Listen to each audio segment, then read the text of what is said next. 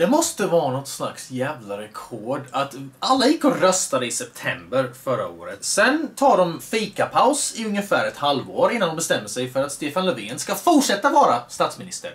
Känns inte som att mycket brainstorming kan ha gått till där. Och när man verkligen funderar över det så kan detta egentligen inte beskrivas i några andra termer än en intellektuell Prolapse. att sitta och fundera i sex månader eller inte. Och sen besluta att bästa saken att göra är samma grej som gjorde att folks förtroende för etablissemanget rasade senaste valet. Vilket är en ny decemberuppgörelse. Fast nu togs ju beslutet i januari.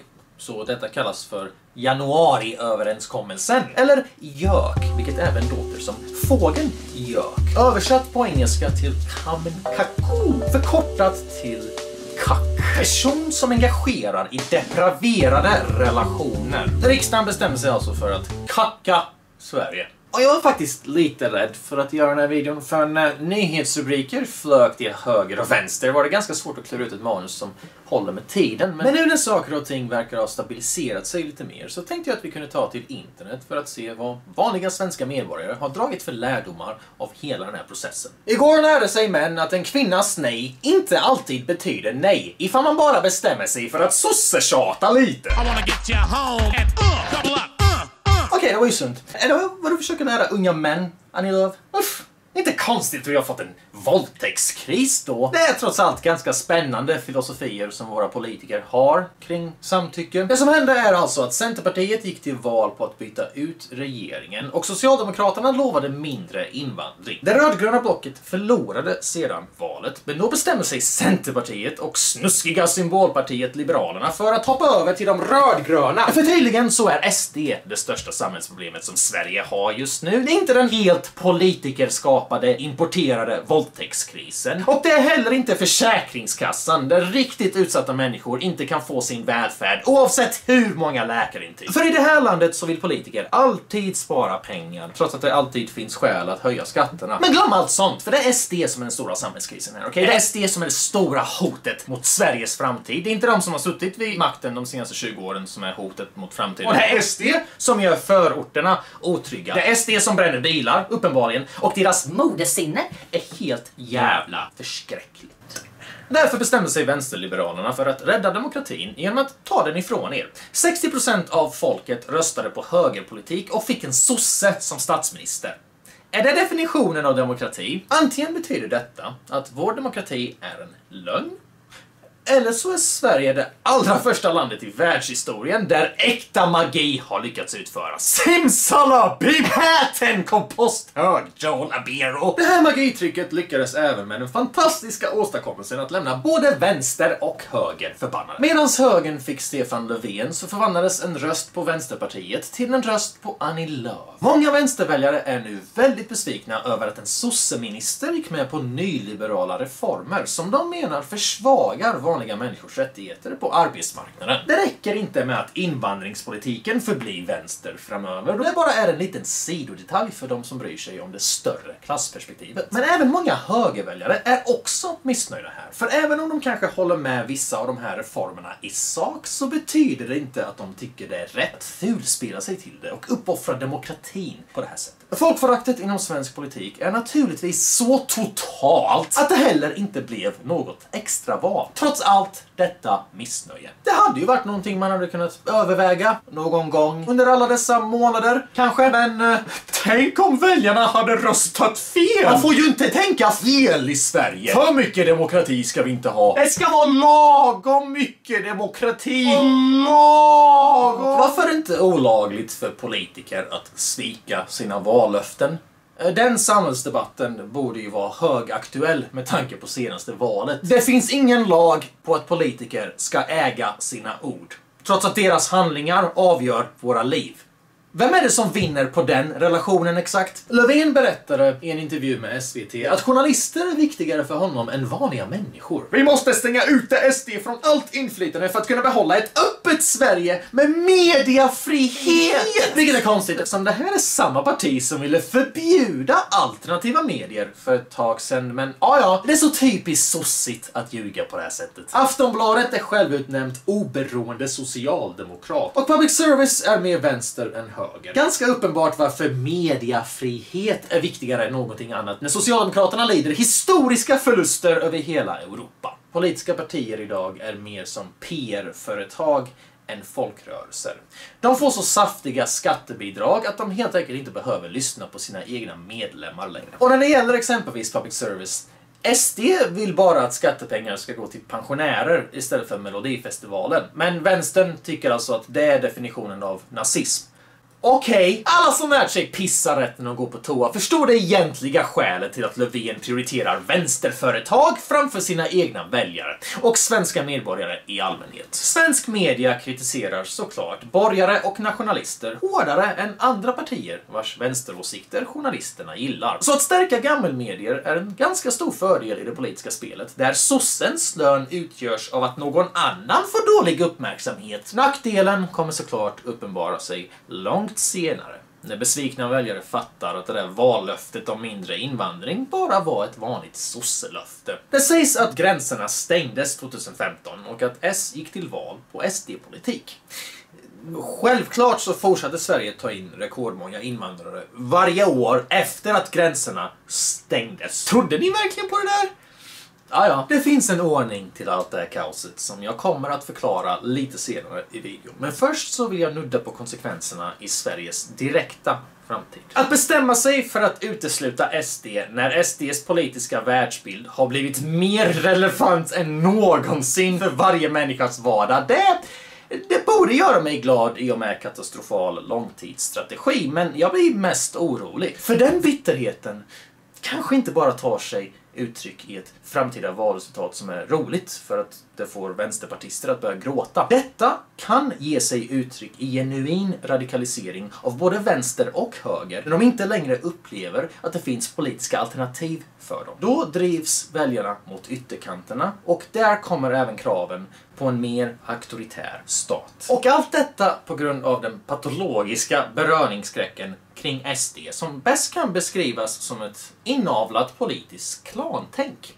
Där egna gruppens heder och anseende bland journalisterna är viktigare än samhällsutvecklingen som helhet. Men om du behandlar ditt parti som ett företag istället för en samhällsnytta, ja då kanske du kan förvänta dig att förlora folket när de klurat ut din affärsmodell. Walla-kaoset i riksdagen bör tvinga oss alla att tänka bredare än ramarna som andra har valt ut för oss. Partitänket i sig är föråldrat, vilket nu har blivit tydligare än någonsin. Definitionen av demokrati är folkstyre. Då det är över all tydlighet att det inte är folket som avgjorde det här valet, trots sin rösträtt, kan vi inte börja prata mer om direktdemokrati. Med fler folkomröstningar så hade det aldrig ens kunnat uppstå ett tabu kring invandring som nu har fått sprida sig så långt att det sträcker sig som en kostnad tvärs över andra politiska områden, även abstrakta sådana som social trygghet, tillit medborgare emellan, tillhörighet och polarisering. Jag vill inte ha konstanta folkomröstningar. Jag, jag tror inte någon av oss hade pallat det, men specifikt flytande demokrati, vilket jag råder fler att läsa på om. Links in bio. Vore en blandning där det sker så ofta som folket känner att det behövs. Och i Sverige så behövs det mycket oftare. Inte minst för att bryta överidentifikationen med partier i dagens politiska landskap, vilket gör folk till idioter. Många i Sverige röstar av tradition inte för att de har mest förtroende för det partiets politik, utan för att jag är en arbetargrabb och så har det alltid varit, så ska det alltid vara. Så här kommer min röst på sossarna trots att jag vet att den är fel. Konformisttänk för att svenskar slutade vara kristna lite för snabbt kanske. Men det behövs även för demokratins skull. Om vi kunde rösta i sakfrågor också och inte bara partier så hade vi sluppit det dyra dagisspelet i riksdagen. För när det tar sex månader att bilda regering är det inte bara historiskt barnsligt, det är även ett svart hål för våra skattepengar som hade kunnat gå till den akuta välfärdssituationen istället. Men på grund av ett överklasskomplex kring SD så fikar ni alltså hellre i sex månader än att värna samhällets utsatta. Regeringskaoset avslöjar vårt politiska system som ett bedrägeri. Representativ demokrati funkar inte när representanterna bara representerar sig själva, utan några som helst juridiska skyldigheter att leverera det folket har röstat på dem för. Och alldeles för ofta så får bra idéer gå och ställa sig i kö för att partilojaliteter kommer emellan. Vilket egentligen bara är ett annat ord för marknadstänk. En majoritet av vår befolkning, svenskar såväl som nysvenskar, vill minska invandringen, förbjuda bönutrop, förbjuda muslimska friskolor och är inte feminister. Ändå är det ett ganska annorlunda land vi lever i. Jag menar, tycker du att några av de här värderingarna märks av i Sverige? Eller lever vi i en kommunist-intersektionalist fjortisdröm? Det sägs att Sverige inte har en vänsterhegemoni, men å andra sidan är det bara vänsterfolk som säger det. Kolla på kulturen istället för marknaden. Som svartskalle så märker jag hur vänstern har lyckats förvandla svenskarna till ett lika statsstyrkande folk som kineser. Kan verkligen inte föreställa sig en värld där byråkrati inte bestämmer varenda detalj i ditt liv. Det är som att de har mommy issues med riksdagen. Varenda gång jag tar upp direktdemokrati i en video så får jag kommentarer om att folk inte hade kunnat klara av så mycket frihet. Samhället hade gått under med för mycket demokrati, trots att det funkat bra i Schweiz. Och Finland har inslag av direktdemokrati som inte direkt har gjort att landet gått under. Och jag säger inte att det är en perfekt idé som hade löst allting. Jag säger bara att vill man argumentera emot det, och det finns bra motargument, välj inte något som gör det så övertydligt att det bara är en projektion av det typiska svenska självhatet. Utgå ifrån att alla andra bara är för inkompetenta för att klara sig utan byråkrati. Det är inte direkt en bra Sverigebild. Det är inte direkt en bra Sverigebild ni går runt och har internaliserat där. Så eh, tyvärr måste jag ge det noll av fem blattar. Ni, ni får underkänt här och det är ju, det är ju sorgligt så. Skam! Fy skam på er. Jag säger inte att vi ska sluta rösta på partier, så slappna av och ät din Stesolid, Anders. Jag säger bara att ifall vi fick alternativet att rösta i sakfrågor också, så hade det varit en ordentlig vitamininjektion för demokratin. Folket hade då kunnat kliva in när det behövs och lösa de här låtsaskriserna som bara grundar sig i abstrakta finhetskomplex. Och valdeltagandet hade ökat generellt. Istället för blanka röster hade vi sett fler människor som röstar i sakfrågor de är pålästa om. För att de kanske inte gillar några av de existerande alternativen. Och då får de helt enkelt skapa sina egna, där de känner att deras kompetens kommer till användning som mest. Är inte det ett tillskott till demokratin och inte en nackdel. Det som håller många människor borta från politiken är just den här känslan av att man inte kan påverka oavsett. Men avcentralisering av demokratin hade gett mer direkta resultat, vilket är goda underlag för att bygga upp ett förtroende till demokratin i längden. Därför så tror jag att det här skulle kunna agera lite som ett botemedel till politisk apati, utanförskap och polarisering. Politisk apati kan yttra sig på flera olika sätt. Det kan yttra sig i att vissa inte engagerar sig eller röstar alls. Och det kan också yttra sig på så sätt att folk röstar på väldigt lata sätt. Demokratin som vi känner till den kom långt före internet. Vi lever med ett politiskt system som inte är anpassat utifrån informationssamhället. Det finns många skäl att se över hur saker och ting fungerar. Jag vet att det är jobbigt med nya idéer, men alternativet är ju olika reinkarnationer av sossarna. Om du verkligen stannar upp och tvingas tänka efter, hur demokratiskt har vårt system egentligen varit hittills. Riksdagen vill fortsätta massinvandringen. Folket vill inte det. Det här är absolut inte en rasfråga med tanke på att SD nu är det tredje största partiet även bland utrikesfödda. Det har nu blivit tydligare än någonsin kopplingen mellan invandringspolitiken och välfärdsstaten. Många invandrare gillar välfärdsstaten. Det blir faktiskt inte mer komplext än så, för tro det eller ej, Invandrare kan faktiskt läsa ekonomiska studier också. Migrationspolitiken representerar mer än bara migration som koncept och migrationsfrågan utgör grundkonflikten mellan folket och eliterna.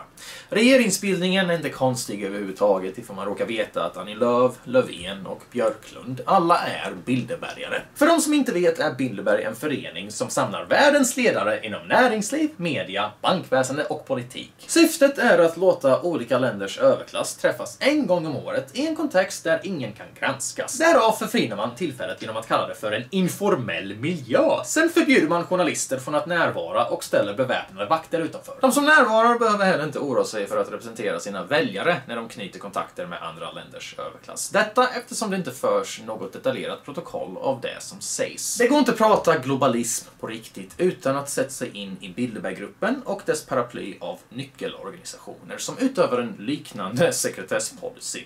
Det är nämligen dessa som har pådrivit globaliseringsprocessen i världen och även utgör en betydande del av dess tyngsta opinionsbildning. Specifikt Annie Lööfs medlemskap i Trilaterala kommissionen har väckt högljudd kritik ända från MP-vänstern till SD-högern. Trilaterala kommissionen kan sägas utgöra toppen på treudden ihop med elitmötet Bilderberg och thinktanken Council on Foreign Relations. Alla dessa ägnar sig åt att påverka regeringsbeslut från tryggt avstånd och jobbar även med att bygga fram ramverk som låter internationella banker och storföretag utöva mer makt över länder, folk och deras ekonomier. Det så kallade frihandelsavtalet TTIP är bara ett av många exempel på hur detta kan se ut i praktiken. Men det är klart, ifall du hade frågat någon därifrån själv så hade de väl bara sagt att de skyddar dig från Ryssland. En nyckelfigur är Zbigniew Brzezinski som bland annat har jobbat som politisk rådgivare åt Obama. 1970 skrev han en bok som bäst kan beskrivas som elitglobalistens bibel. Här fastslår han bland annat att nationalstaten är inte längre den fundamentala kreativa principen som driver samhället. Internationella banker och multinationella företag planerar och agerar i mycket mer avancerade termer än politiska koncept som nationalstaten. Slutcitat. Boken imponerade så pass mycket på finansmannen David Rockefeller att han efter detta lät Brzezinski bli en av medgrundarna till Trilaterala kommissionen. Noam Chomsky är en av deras mest högljudda kritiker på vänsterflanken och brukar ofta lyfta kommissionens rapport The Crisis of Democracy för att påvisa folkföraktet bland etablissemangen. Rapporten drog slutsatsen att västvärldens problem härstammar från att vanliga människor har för mycket demokrati. Lösningen som då rekommenderas är att ge mer makt till överstatliga organisationer som inte behöver lyssna på länder och deras medborgare. Detta är globalisteliten som Annie Lööf gullar med och hon får inga frågor om det av media. Eller om Bilderberggruppen. Därför så har jag gjort den här tröjan istället, så att vanliga medborgare ska kunna ställa frågorna som journalister inte vågar. Se också till att klicka gilla, lämna gärna en kommentar och dela gärna videon på dina sociala medier. Allt sånt hjälper nämligen den här videon att lyftas fram i algoritmer och rekommendationer, vilket garanterat behövs på den här sunkiga avloppskanalen. Det bör då heller inte förvåna någon att Centerpartiet och Liberalerna nu går till val i EU-parlamentet på att göra Europa och Afrika till ett enda stort land med fri rörlighet däremellan. Vilket såklart hade ökat invandringen till Europa med flera miljoner, men ifall man haft koll på Annie Lööfs tidigare påståenden så borde ingen bli förvånad här. 40 miljoner invånare i Sverige, det, är det kan du tänka dig?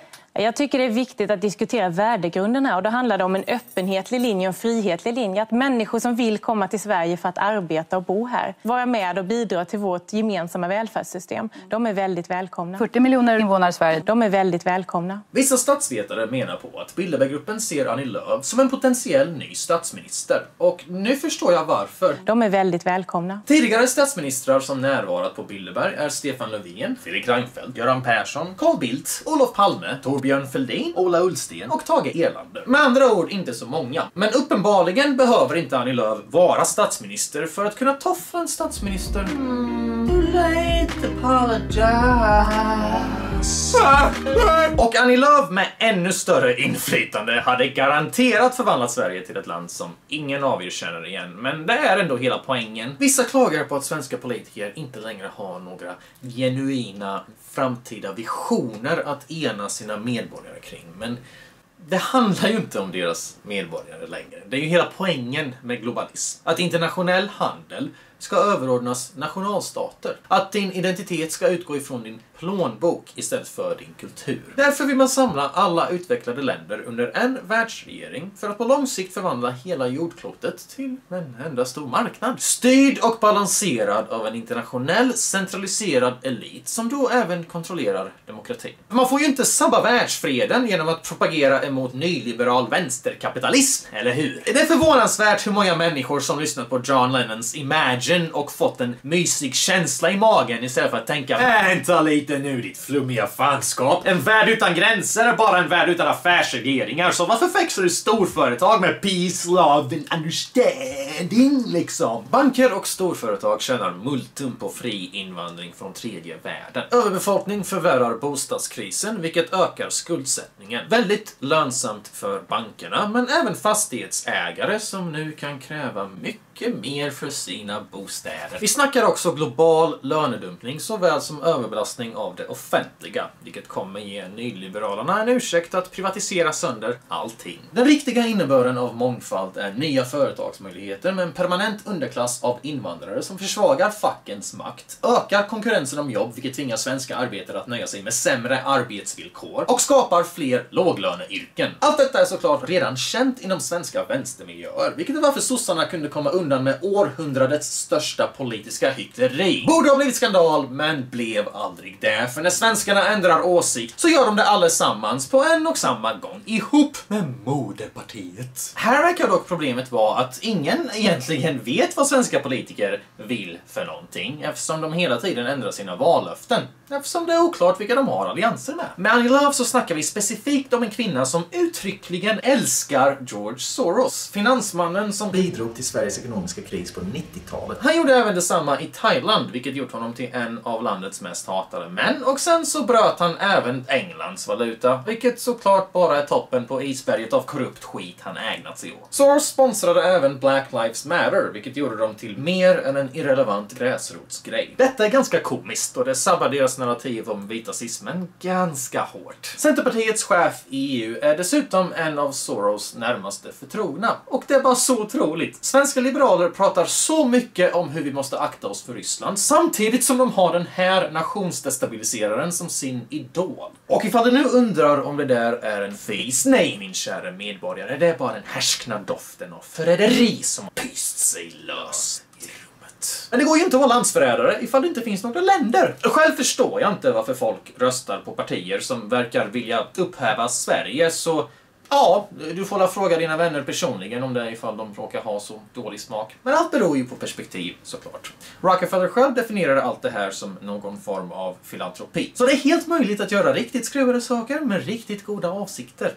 Fråga bara Stalin. Det finns såklart mycket mer att läsa i videobeskrivningen där jag samlat mina källor varav många inte får plats i videon. Så kolla gärna källförteckningen och jag är väldigt tacksam till alla er som donerar. Det har hållit igång den här kanalen hittills och de som vill bidra till mer videor kan finna den infon där också. Problemet med den här sortens privata hysch-hysch-organisationer är såklart att den internationella överklassen träffas utanför ramarna av granskning. Utanför samhällets eller ens regeringars insyn. Detta skapar en kultur där olika länders överklass fostrar allianser med andra än sina landsmän. De känner då inte längre lika starkt behov att utöva socialt ansvar. Men enligt den rödgröna röran så hatar folk bara Annie Lööf för att hon är kvinna, inte för att hon är mytoman. Som vanligt med feminister så tvingas man påpeka att det verkligen är allt annat än könet som gör att folk avskyr den här korrumpenta personen som råkar vara kvinna. Kritiken mot Annie Lööf grundar sig i att hon har blivit påkommen med lögner och dubbelspel så många gånger att det egentligen är det enda folk vet om Centerpartiets partiprogram. Den enda förväntningen som finns på Centern är att de ska svika förväntningar. Men skit i att Annie Lööf saboterar svensk demokrati, för hennes kön betyder att hon inte kan göra något fel. vote for me because I'm a woman. One of my merits is I'm a woman. All these mothers vote for me because I'm a woman. Because I'm a woman. Tänk vad framtida historieböcker kommer säga om Sverige. Om man ska utgå ifrån medias version så får Annie Lööf jättemycket hat för att hon är en väldigt duktig politiker som råkar vara kvinna. Och hon gjorde allt detta för att undvika polarisering. Om vi ska utgå ifrån folkets version så såg nyss två små skitpartier till att 60% av folket kastade bort sina röster. Kanske till och med 70-80% ifall vi räknar med alla sura rödingar. Och sen bestämde sig Sverige för att uttrycka sin besvikelse över att vi inte längre har en fungerande rösträtt. Och det är klart, politiker ska föreställa kontorspersonal som finns till för att servera folkets vilja.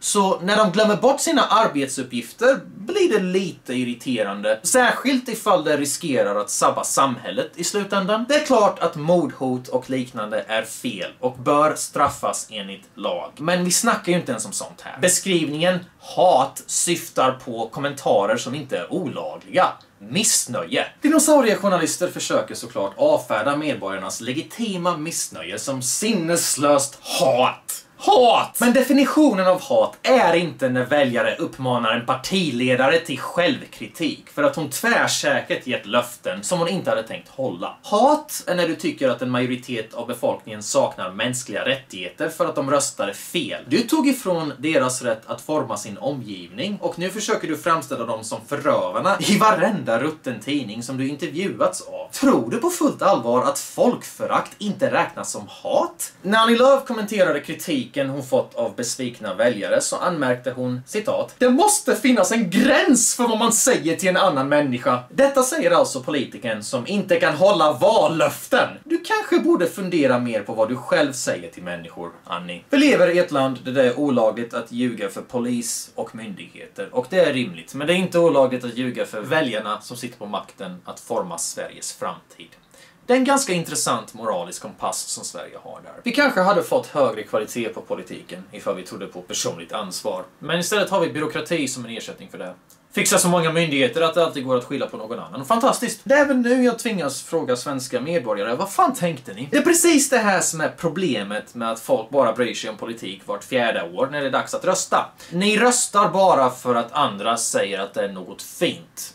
Inte för att ni faktiskt har läst på. Och tro fan inte att samhällskunskapen i skolan kommer lära ut vad politik är för någonting. Då röstar man bara utifrån vem som låter bäst i TV-debatter. När en debatt bara är ett prov på retorisk förmåga. Inte något slags test av någons politiska karaktär. Som politiskt insatt så specifikt undvek jag partiledardebatterna för jag visste att det inte spelar någon roll ändå. Men jag märkte att väldigt många Svenssons eh, vände sig dit desperat för att kunna klura ut vem som står för vad. Och det är ju ganska illa i ett konformistsamhälle där alla bara säger lite vad som helst. En debatt per definition är ett skådespel.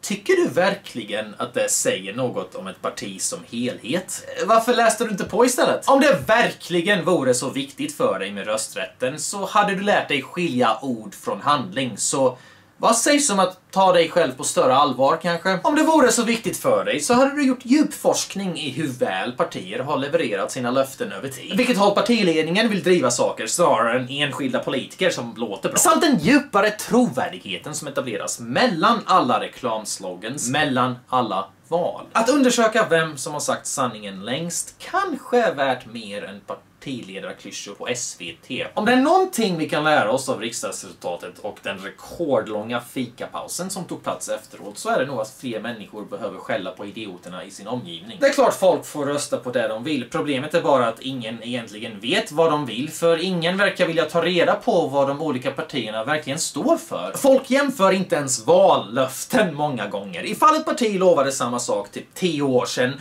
så kanske det inte kommer hända. Get the picture honey! Ser du en ring på det där fingret? Ser du en ring på det där fingret? På ditt finger? Vad har han gjort för dig på sistone? Vad har han gjort för dig på sistone? När det kommer till politik så är svenskar lite som guldfiskar. De verkar bara komma ihåg saker ungefär så här 15 sekunder åt gången. Riksdagskaoset som började 2018 och sträckte sig ända in på 2019 borde tvinga Svensson att omvärdera sin förståelse för svensk politik. Vänster och höger blir ganska daterat när Vänsterpartiet hjälper högern driva igenom nyliberal politik för att båda vill bekämpa rasismen genom att ha så generös migrationspolitik att det snarare kommer skapa rasism mer än något. I detta så har man bara blivit nyttiga idioter åt företagsglobalisterna och jag vill inte ha några dumma divide and conquer kommentarer från nazist-CPn som tror att de är pålästa. Ifall du verkligen förstod hur divide and conquer fungerar så hade du inte spelat med i leken. Steg för steg så har vänstern sålt ut sig.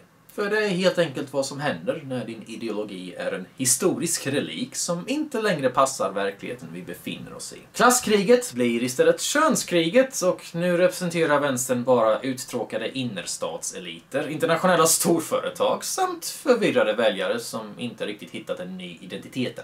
Så de röstar bara av tradition ironiskt nog. För de har ännu inte fattat hur kapitalistisk och värdelös svenska vänstern är. Den enda ideologin de egentligen har kvar längre är politisk korrekthet. Vilket förenar dem med Soros-globalister som Centerpartiet och Liberalerna som förstått att nationalstater står i vägen för den globala eliten som vill leva på en global underklass. Därav använder de mångkultur och PK som politiska verktyg för att driva igenom ännu större klassklyftor och demografiska skillnader. Det säger ganska mycket om Sverige när vi har liberaler som hatar frihet. Det blir lättare och lättare att se våra nya skiljelinjer inom politiken. Vissa vill argumentera att den nya linjen går mellan progressiva och konservativa. Men det är mer den lokala konflikten ifall den ens kommer se ut på det sättet. En djupare och bredare skiljelinje går genom det större världsligare perspektivet mellan globalister och nationalister.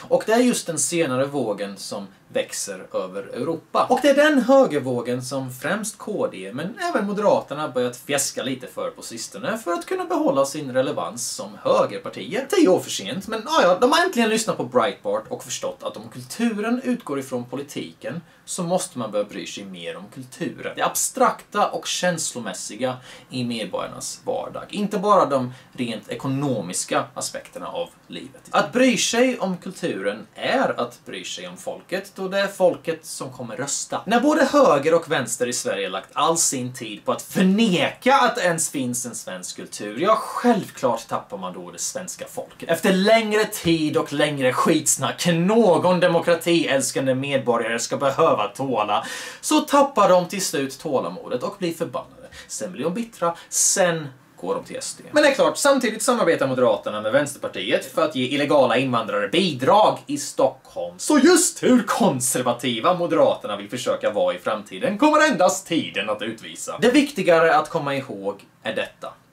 Det finns människor som vill lura dig att mångkulturen och globaliseringen är oundviklig. Att bara för att vi har internet och export-import så behöver vi inte gränskontroller eller kulturell identitet. Vilket är ett sånt hjärntvättsresonemang. Vad har fri invandring från Afrika att göra med privata företag i Stockholm? Annat än lönedumpning kanske, men det är ju knappast definitionen av oundviklig förändring. Hur fan är det oundviklig förändring att svenska politiker aktivt bestämmer sig för att gå emot folkopinionen i över tio år, bestämmer sig för att stoppa alla invandrare i getton, sedan bestämmer sig för att aldrig flytta dit själva. Eller ens interagera med människorna de har kämpat så hårt för att ta in. Det är snarare en väldigt artificiell och konstgjord förändring vi pratar om här. Om mångkulturen verkligen vore oundviklig så hade de inte behövt forcera den på det här sättet. Då hade svenskarna glatt tagit in flyktingar i sina egna hem med öppna armar istället för att bokstavligt talat 99% tacka nej till det här förslaget. Sen går de och röstar på partier som vill ta in invandrare fast ingen verkar vilja umgås med dessa invandrare. Men alla är så förvånade över varför de känner sig utfrysta och arga. Ifall globaliseringen verkligen vore oundviklig hade de inte behövt anstränga sig så mycket med den genom att ljuga för oss i så många år och försöka inbilla oss att alla nackdelar bara är paranoida rasistmyter medan helt legitima frågeställningar bara ignoreras. När något är oundvikligt så blir man inte så desperat att man försöker censurera obekväm information som levereras av obekväma aktörer. De hade heller inte försökt lura oss att internationell handel förutsätter gratis asyl åt vuxna män som ljuger om sin ålder. De senaste decennierna har Sveriges största tidningar låtsats att invandringspolitiken tjänat oss jättemycket pengar, inte är någon belastning på välfärden och inte haft någon påverkan på kriminalstatistiken. Är det verkligen definitionen av naturlig, oundviklig förändring? Det är klart att folk tror att mångkulturen är oundviklig när man ljuger jättemycket för dem. Men det är bara hjärntvätt. Eller som Svensson kallar det, att sluta vara pinsam och bli en god medborgare. Hade folk fått veta sanningen alla dessa år så hade de uppenbarligen röstat på något annat. Detta ser vi redan exempel på med hur opinionen har svängt i olika frågor och inte minst tack vare alla oss här på sociala medier. Och ju längre tiden går, desto fler upptäcker sanningen. Därför finns det en vikt i att uttrycka sig och sprida information. Att ta de där små debatterna i vardagen. Istället för att kräva bekräftelse från folk som vet mindre än dig. Antingen lider du för att du vågar vara dig själv och stå upp för det du tror på. Eller så lider du för att du inte vågar vara dig själv. Du kommer att lida oavsett. Se åtminstone till att välja den slags lidande som bygger karaktär och ger dig människor som är värda att ha i ditt liv i längden. För om någon springer iväg av en faktabaserad åsikt så var den fjortisen uppenbarligen inte värd att ha i närheten till att börja med. Du får precis så bra kvalitet som vad du nöjer dig med. Både i det privata såväl som i det politiska. Därför är det viktigt att göra det jobbigt för alla som vill ta våra friheter ifrån oss. För de gör det alltid ett litet steg steg i taget. Då är det viktigt att folk är där och protesterar ett steg i taget och visar att det är väljarna som utgör deras löner. Vanliga privatpersoner kan påverka så mycket mer än vad de är medvetna om. Internet har satt dig i vågbalans med etablerade institutioner. Använd det privilegiet medan du fortfarande kan och tack för att du tittade så här långt.